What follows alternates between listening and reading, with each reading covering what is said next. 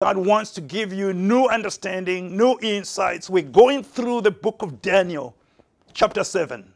There, God encoded everything that's happening in our day, the players of today, the timelines, the, the deadline. Everything is given in Daniel. We are decoding these things and revealing these things, these mysteries, God wants them revealed to this terminal generation in this final decade on the planet. The king is coming back soon. That is why he has sent me to you to tell you everything that God has written concerning the times we're living in, the end of time, this final generation. What is God saying? Daniel was told to seal the message until the days we're living in, when he will open the message for all of us to understand.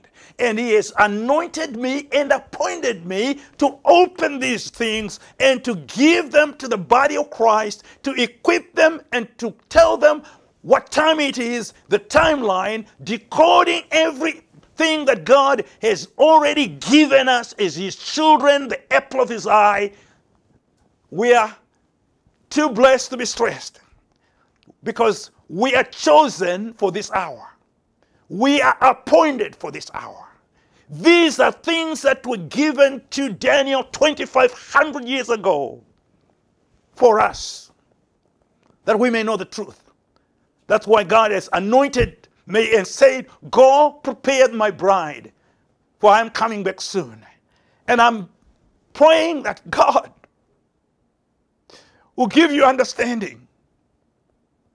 And that He will put within you a passion for the Lord and a compassion for the lost.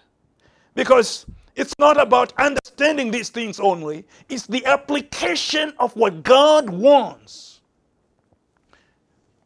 Here I am, Lord. Send me. Send me in this terminal generation, in this final decade, the decade of the return of the King of Kings the most critical time in history. We saw in Daniel chapter 7 the rising up, first of, of the lion, which is Great Britain. Then we saw the, rise, the, the, the eagle that was attached to the lion, the United States of America. In 1776, it separated. We saw the, the coming forth of the bear the Soviet Union. Now we're dealing with the next beast that's mentioned in Daniel chapter 7. Please read Daniel chapter 7 so you can have a full understanding of what the things I'm going to share because I shared when Great Britain rose to power, 1707, uh, when America separated from Great Britain 1776, when the bear was born, 1922, the USSR was born, and how they devoured 100 million people. Go back to the sermons, the messages that I've already covered, because we're moving forward, because it's line upon line, precept upon precept. Here a little, there a little, as we unfold and, and, and reveal these things that God wants us to know that He is in absolute control of the future. The future is not going to be defined by the United States of America. It's not going to be defined by the Security Council. It's not going to be defined by the Soviet Union. It's not going to be defined by China. The future has already been defined in it is written. God said it, that settles it. Will anything happen? That God has not already told us? No, nothing's going to happen that God has not already given us, told us in His Word as His beloved children. We are too. We're too blessed to be stressed with all the anxieties and fears, and you know, the world is in turmoil. We are at peace because we know that our God is the blessed controller of everything in the world, and that we are the apple of His eye the elect of the Father, chosen for such a time as this, set apart for such a time as this. that God wants us to know these things so that we can stand up and tell others don't panic, don't fear. There is nothing to fear. Don't pursue conspiratorial interpretation of what's going on because what's going on is it is written. God said it. And it's not going to, nothing's going to happen. That's not in scripture. Nobody's going to redefine the world. The devil can't do it. The world leaders can't do it. God has already revealed everything that's going to happen. He showed the rising up of Great Britain. He showed the rising up uh, of America. He showed the rising up of the, of the Soviet Union. It's all in Scripture. The timeline is given. And now the next beast that Daniel saw, Daniel 7, verse 6, this is the next beast that he saw. After this, I looked, and there was another like a leopard which had on its back four wings of a bird. The beast also had four heads, and dominion was given to it. Who is the, the leopard? When did the leopard rise? According to the divine timeline and according to history. Because history documents the fulfillment of biblical prophecy. Prophecy is history written in advance. Headlines of tomorrow written in advance. So here we, we see after the Soviet Union, there was going to come another beast like a leopard. Look at the sequence of events. The first beast, 1707, Great Britain. The second, the, the, the, the eagle, 1776. The third one, uh, 1922, the, the bear, the Soviet Union. Now we come to 1947. There is a sequence of events. There is a chronological presentation of every event, every kingdom. All the sequence of events are given. The timeline is given. That's how precise our God is. There is no confusion because God's not the author of confusion. There is clarity with no ambiguity. That is why it is important to understand that everything is happening according to it is written, infallible, inerrant. Every prophecy is infallible and inerrant because God has preordained everything. He is sovereign in the affairs of men. History is his story, the story of the lordship of Jesus over history. Here he tells us that the next beast is going to have four heads and it's a leopard. The leopard represents Western Europe. It represents the European Japhetic people groups. What is the leopard? It represents Western Europe. It represents, in large, the former, the, the, the former Greco-Roman world. Because it's still the Roman rule according to the scripture. It's just going through different phases, different changes, but it's the same thing. Eastern Rome, Western Rome. Those are the last players until Jesus comes back. They were, Rome was here when Jesus came the first time. Rome will be here when Jesus comes back the second time. So now we're looking at the leopard, which is the which has four heads. When was that born? What is Daniel being shown here? What is he describing here? Do, can we tell who it is, when it happened, and how it happened?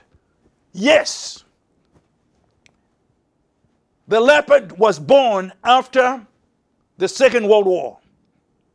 In 1947, when was the bear? When, when was the leopard born? 1947. Four heads, who were the four heads? They are the four nations called the Allied Powers.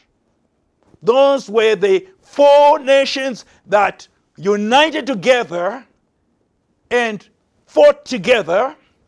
That is Great Britain, United States of America, France, and Russia. Those were the four that were at the Paris peace treaty.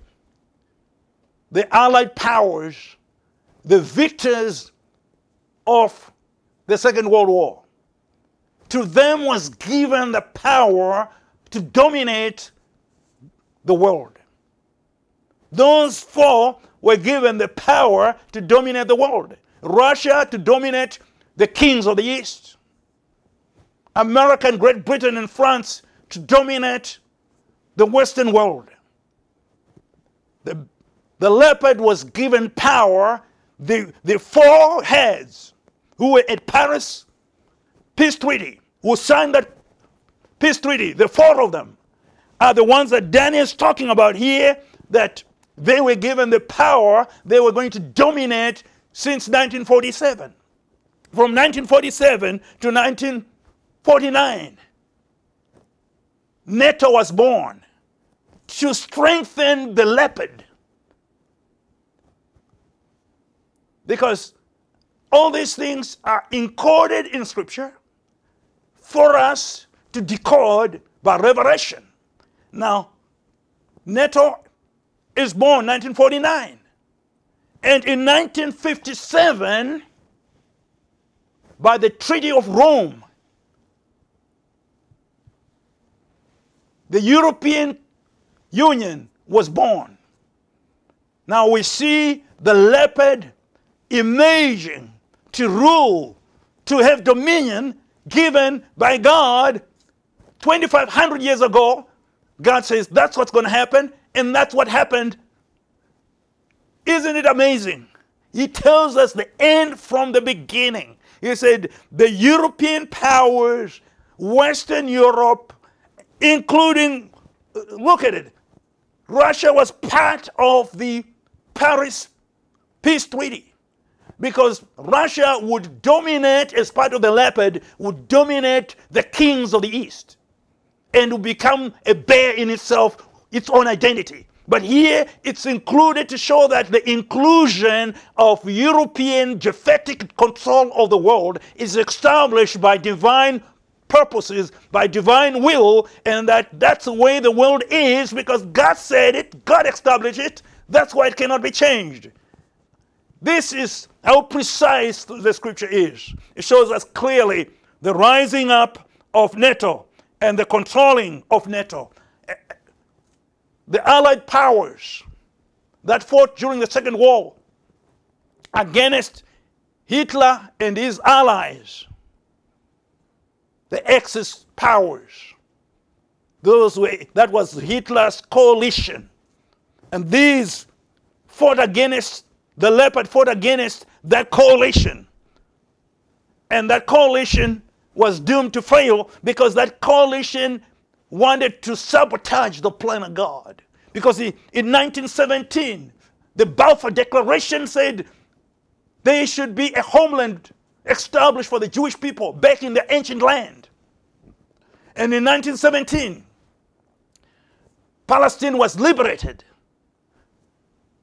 And the plan was in place to fulfill biblical prophecy to return the Jewish people to the ancient land. That was the plan of the Allies, the Allied powers, and the Axis powers. Hitler's coalition had a different idea. The idea was to come against what God said, to stop God's plan. The reason why the Allied powers won is because they were on the side of God. When you are on God's side, you're on the winning side. Because they were fighting to see the fulfillment of biblical prophecy. In Genesis chapter 12, verse 3, I will bless those who bless you, and I'll curse those who curse you. And through you, all the families of the earth will be blessed. The allied powers United States of America, Great Britain, France, Russia, they all got together to fight against the, the, the, the, the Axis powers who were opposing everything that God wanted to do. That's why they began to, to kill the Jews. Because why? Because the devil wanted to stop the Jews from going back to the land of Israel. And the Axis powers, that is Hitler's coalition, was opposed to the fulfillment of biblical prophecy. They were the used by the devil as an agent, as an agent of the devil. They were to stop and hinder the plan of God by exterminating all the Jewish, Jewish people so that they would not be able to return to the land, so that the scriptures would not be fulfilled. And that's why they were fighting on the wrong side because they were fighting against what God said, because God says, I'll restore them back into the land. And Hitler and his coalition, the, the Axis powers, were against that. They didn't understand that when God says He's going to bring His people back, He's going to bring His people back. It says right here in Ezekiel 36, verse 24 For I will take you from among the nations and gather you out of all the countries and bring you unto your own land. That's what God says. I will bring you back to your own land. God said it the Allied powers agreed with God, stood on the side of God. And the Axis powers with Hitler, who were the Axis powers? Who were the people, the nations that, that were with Hitler? Germany, Italy, Romania, Bulgaria, Finland, and Japan. Those seven nations were in Hitler's coalition to stop the scriptures from being fulfilled, the plan of God from being fulfilled. They were doomed to failure. They were fighting on the wrong side. That's why power was given to the leopard, to those who stand for righteousness for those who stand for the plan and purpose of God. It's a great lesson for nations to learn. Because those who fight God are never going to win. As a matter of fact, we know about Hitler. We know that Hitler was so determined to not allow the Jewish people and God had a plan. And he revealed that plan in his word. Clearly, he says Hitler would fall and not be found. When you go to, to the book of Daniel, it tells about Hitler. Because Hitler was a biblical character, a prophetic character. The Bible already revealed the end of Russia. Oh, no, sorry, the end of Germany and the end of Hitler. That's how precise the scripture is. God told Daniel that Hitler would die, would fall and not be found. Because he wanted us to know that this Second World War was not by chance, it was ordained.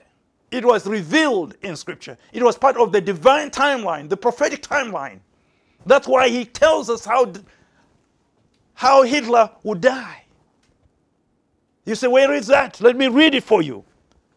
Daniel chapter 11, verse 19. And after this, he, Hitler, will turn back towards the fortress of his own land. If you follow history, that's exactly what happened. But he will stumble and fall, not to be found or not to be seen anymore. What happened to Hitler? He stumbled and fell and not to be found. His body has not been found to this day because God says this will be a sign of the end of the of the ally of the Axis powers, and that the Allied powers will win and triumph over him, and then you you try to flee back to his fortress from trying to go towards Britain, you go back and he will fall and not be found because power has been given to the leopard and that he was not going to be part of that. And we see that being literally fulfilled. He fell and not be found because his agenda to exterminate the Jewish people so that there would be no return of the Jewish people to the ancient land, so that God would be proven wrong. He was proven wrong. That's how accurate biblical prophecy is. It guides us into the future. It tells us the end of nations and powers and rulers of the world because our God reigns supreme above all the kings of the earth. He is the Lord. And He has a plan, and He has revealed that plan in Scripture. He gives us all the players, their time, their season. 1947, the leopard was given power to rule, and it, it's, rule, it, it's ruling even to this day. So, when will the leopard's power come to an end? It's given in Scripture. Next week, when I deal with the end of the, the leopard, the time of the leopard, which began in 1947, it morphed into NATO then into the treaty with Rome, treaty of Rome, the EU, that all power base. Where is it going 2022? What will become of the leopard? Where will it, what will be the end of it? It's given in scripture. Everything that's going to happen until the day Jesus comes back is given in scripture. We know the end of all the wars. For instance, we ta- I talked about the coming nuclear war that will kill 2 billion people. Not 2 billion and 10, not 2 billion and 50, 2 billion people. Exactly, precisely. It's given. There is nothing that's going to happen beyond what Scripture has said. I want all of God's children to understand how profound are the Scriptures, how amazing are the Scriptures, how glorious is our God. That the God that controls the future knows you by name, cares for you, called you, chose you, redeemed you by his own blood, reconciled you to himself, and say, You are mine for all eternity. I'll give you the de- deadline. I'll give you the sequence of events. I'll give you everything that you need to know until I come to take you home.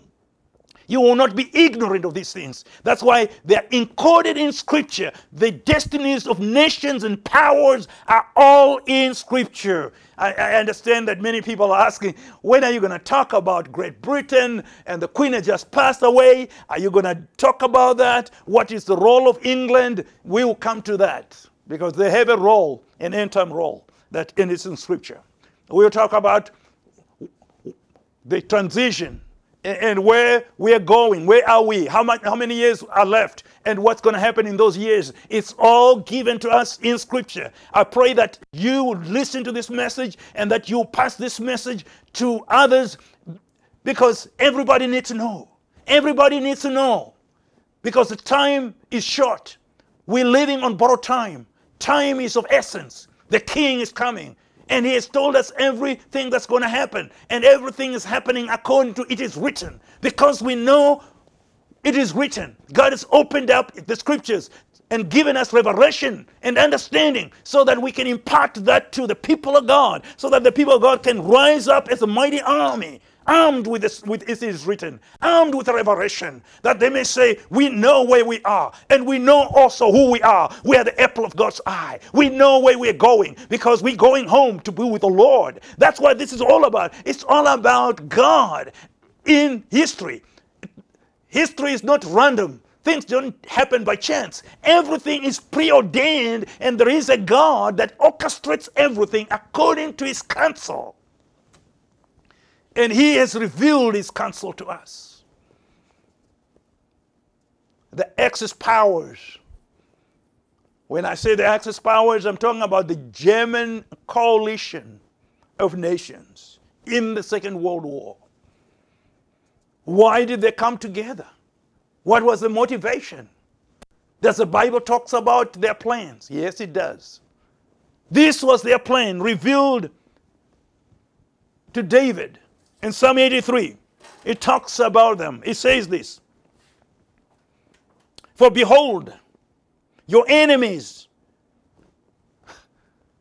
the enemies of the plan of God, are in a tumult. Tumult. And those who hate you have lifted up their head. The Axis powers, Hitler's coalition, they have taken crafty counsel against your people, Israel, the Jewish people, and consulted together against your sheltered ones, the elected ones, the, the people of God. They have said, Come, let us cut them off from being a, a nation. Let's make sure that these people will never again be a nation on the earth. That's their plan. The Holocaust.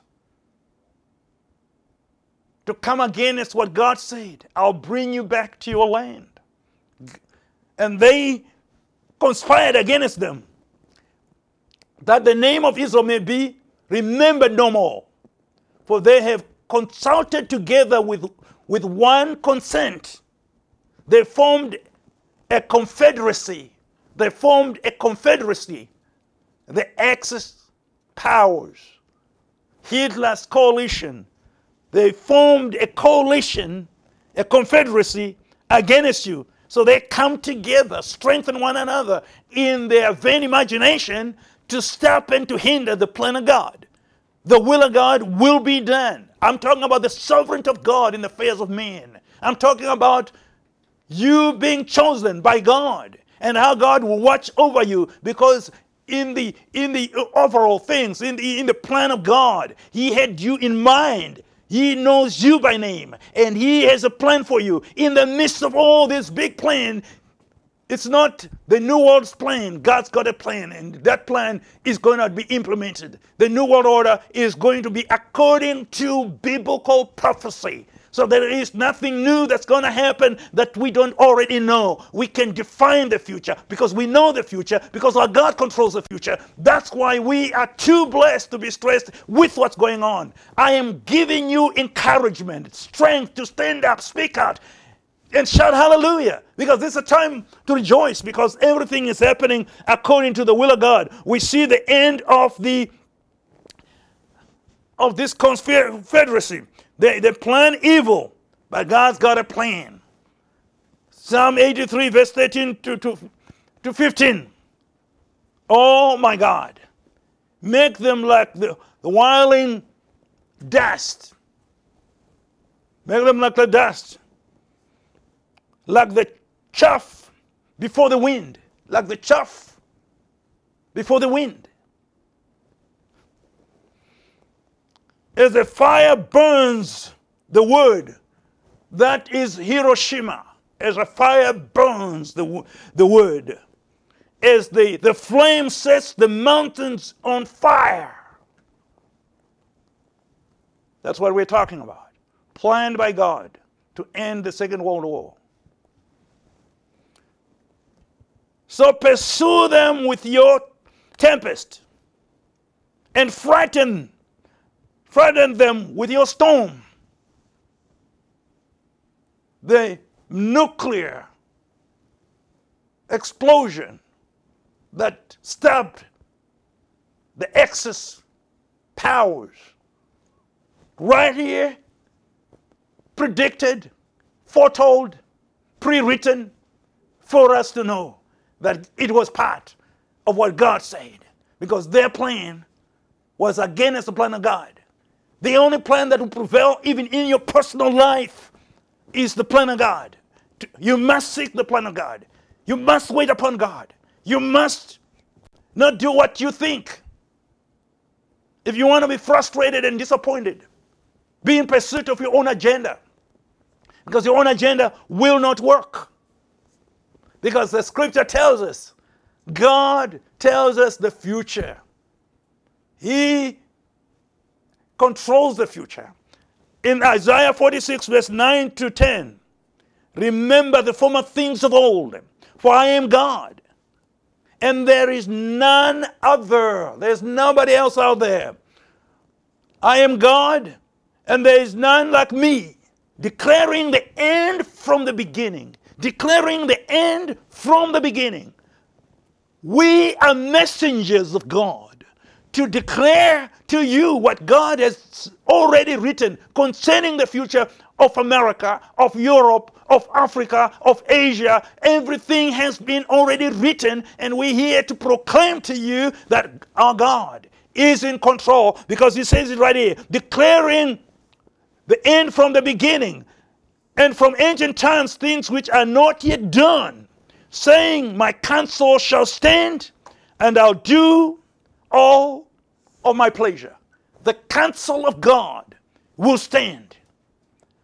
Telling us in Daniel, 2,500 years ago, he tells us about the rising up of NATO, the domination of NATO of the world, the Japhetic control of the world, their global influence.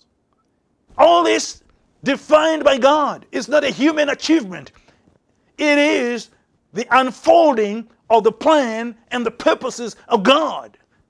That is why when, when we look at all these things, we can only say to God be the glory. Great things he has done. Great things he is doing. Because we see the hand of God. We see the power of God. We see the faithfulness of God because he is God and he will not change and adjust his plan to the new world order. He will not adjust the plan for the church to the will of the world, the new world order. He said the gates of hell will not prevail. The gates of hell will not prevail. The devil will not prevail over the church of Jesus Christ. The church shall rise and stand. Because God said it, that settles it. There will be a triumphant, victorious church on the earth. Yes, the church is going to be here, here to demonstrate the power of God. Yes, we are here, not scared of the Antichrist, the false prophet, because God's got a plan for us in these days. The future belongs to us because God said it. In the book of Numbers, chapter 23, verse 19 to 20, God is not a man that he should lie, nor a son of man that he should repent. Has he said, and will he not do? Or has he spoken? Will he not make good? Behold, I have I have received a command to bless. He has blessed, I cannot reverse it. It's clear here. Has God said, will he not do it? He said it. All these things and plans are declared by God in His Word. And these plans are coming to pass. They have come to pass. We look at history, we see biblical prophecy being fulfilled. We look at current events, we see biblical prophecy being, being fulfilled. Everything is telling us that our God, the God of Abraham, Isaac, and Jacob, the Father of our Lord Jesus Christ, that He alone is in control of everything. He is the blessed controller of everything. That means you and me, we are to rejoice because what He said shall He not do. Everything He said concerning geopolitical situation in every generation happened just the way he said it. Because it's in control of geopolitics. He is in control of everything that's going on in our world today. And he said, What I said shall I not do? We see his faithfulness on the global scale. But I got news for you. What he said to you, it's going to happen. Because he says right here, as he said, Will he not do it? He has said to you, Now I'm moving from the global prophetic fulfillment to a personal application of what God is saying to you. Because you are the center of God's will, you are the object of eternal love. You are the reason why God gave us biblical prophecy because He wants you as His child to know. Because it's all about you, the apple of His eye. It's about your future. It's about your role in these last days. What God wants you to do. As He said, shall He not do? He said, You can do all things through Christ who strengthens you. You can do all things because you can do what God says you can do. Because God will not fail. He said, I will give you power over all the powers of the enemy. He said, No weapon formed against you shall prosper.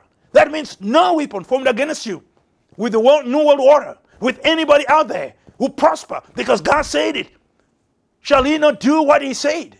He said, Call upon me and I will answer you. Just call upon him and he will answer you. As we see his faithfulness in geopolitics, we see his faithfulness to you, his child, the elect of God, chosen before the foundation of the world, set apart to be the apple of his eye. You matter more, you're more important. That's why he tells you everything that the world's going to do so that you know that God, your God, is in control of everything going on around you. That you have been chosen to be a joint heir with Christ Jesus. Because Jesus came to die for you. And when Jesus died, the Bible says you were called crucified with Christ. You were called buried with Christ. You were called raised with Christ. You are called seated with Christ. You are called ruling with Christ. You are called eternal with Christ. You experience co sonship with Christ. Everything the Father has given to Christ, you are a joint heir with Christ Jesus. God said it, and He is faithful. He has demonstrated His faithfulness through the ages. Nothing that God said has, has failed. That means He's not going to fail you. He's going to do great and mighty things for you. In Daniel chapter 11, verse 32 and 33, God says, Those that know their God in these last days, in these days of visitation, in the final countdown to the return of our Lord and Savior. This is the generation that will live in this hour. Those that know their God are going to do exploits. The time for you to rise and shine is come. The hour for the manifestation of the sons of God has now come. And He's calling you because time is of essence. Isaiah said, Here I am, Lord. If you can send me, send me. Child of the Most High God, the time has now come for you to say, Yeah, I am. As I see your faithfulness in history, as I see your faithfulness today in raising up the leopard kingdom to dominate the world, I've seen that, I hear that, it's everywhere. Everything the Bible says has happened. As I see your power and your greatness, and that you have chosen me to be seated together with your son Jesus, to rule and reign together with him, to give me dominion and authority in the affairs of men. I say, Thy will be done and not my will. This should be the prayer of every child of God. Because what he said, shall he not do? He said, I'll never leave you nor forsake you. He said, if you're sick, by my stripes you are healed. If you have lack in your life, he says, I'll meet all your needs according to my riches and glory by Christ Jesus. Because you are important. Because you are the object of his love in the midst of all the chaos and the confusion and the crisis we're living through, we're going through. God is saying to you, I'll never leave you nor forsake you. I'll never, never abandon you. I'll always be with you. And if God be for you, who can be against you? That means the future is wonderful for the child of God. You're a child of God. You're born again. You are set apart for His glory. Because you're chosen, it's time for you to say, Here I am. What's your plan for my life? What do you want me to do? Because you are safe and secure in the center of God's will. Your provision is at the center of God's will. Your protection is at the center of God's will. That's why you must seek the will of God. That will be done in my life as it is in heaven. That should be the prayer of every child of God. I want you at this moment to pause. We thank God for his faithfulness through the ages. We see his hand. We see his signature in history. But here, I need to see your hand and your power in my life. Because your life matters more than the whole universe. That's why Jesus died for you. Because you are more important to him. You're the apple of his eye. God loves you too much to leave you where you are. It's got a plan and a purpose for your life. It's time you say, God, here I am. You say, okay, man of God, I hear you. I'm excited to see the, the faithfulness of God. I'm excited to see God unveiling, decoding, deciphering all these things and exposing all these things to, to the people of God, to strengthen them, to build them up, to cause them to know that God is in control. Because the devil tried to frighten them and say, I'm in control. He's not in control. God is in control. History is the story of Jesus. He is the Lord of history. Everything is going to happen according to the dictates of the scriptures. According to the scripture, the, end, the world will come to an end. At the appointed time, God is the author and the finisher. And He chose you. And He said to me, Man of God, help me. I need the peace of God. I need the joy of the Lord.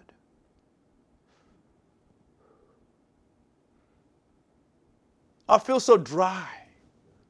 I feel so lonely. I feel so isolated. I feel I'm all alone. I need the peace of God. I need His presence with me. I'm compromised. I don't pray enough. I don't read His Word enough.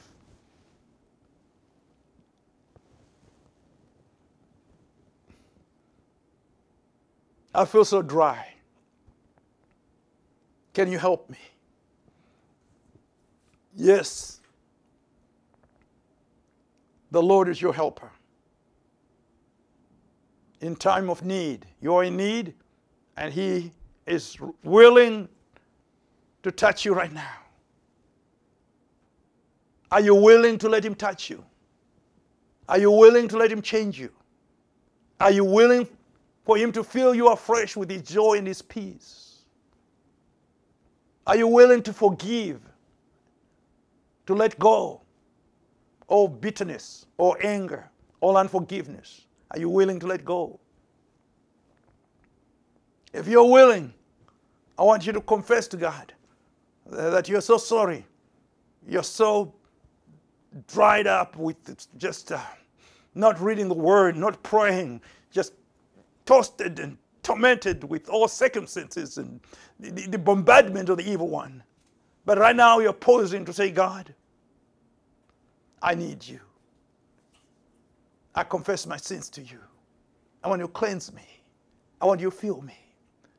I want you to pray right now. And I'll pray for you that the joy of the Lord will be restored to you. And then the peace that passes all understanding will fill your heart. Are you ready? This is a defining moment. This is the moment you've been waiting for. A fresh touch from Jesus. Father God, I pray for my brothers and sisters who are saying, Lord, here I am, my Father. Restore me. Cleanse me. Forgive me. Wash me clean. Fill me afresh with the Holy Spirit.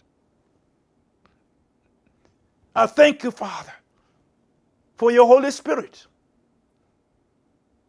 From this moment, Father, I yield my life completely and totally to your Holy Spirit to lead me and to guide me. I ask this in Jesus' name. Amen.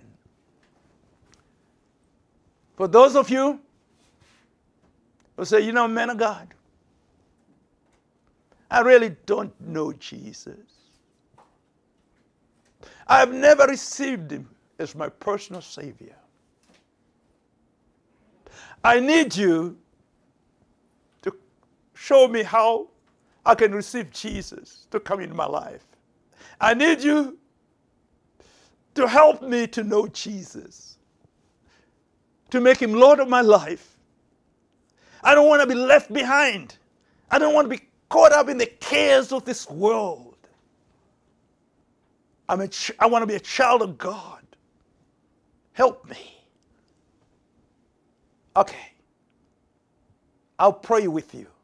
And I want you to pray after me to receive Jesus Christ as your personal Savior. To come into your heart, to live in you, to guide you, and to, to lead you to eternity with God in heaven above. You say, Yes, that's exactly what I want. Okay, pray after me. Father God, I thank you for your son Jesus, for the blood that he shed on Calvary for me. Lord Jesus, I ask you to come into my heart, to be my Lord and Savior. I ask you to write my name in the book of life so that when I die, I'll spend an eternity with you. I give you my future and I give you everything from this day forth. Lead me and guide me now. In Jesus' name I pray. Amen.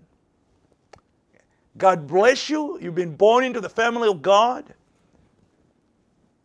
If you didn't follow me, you can just simply say, Jesus, come into my heart.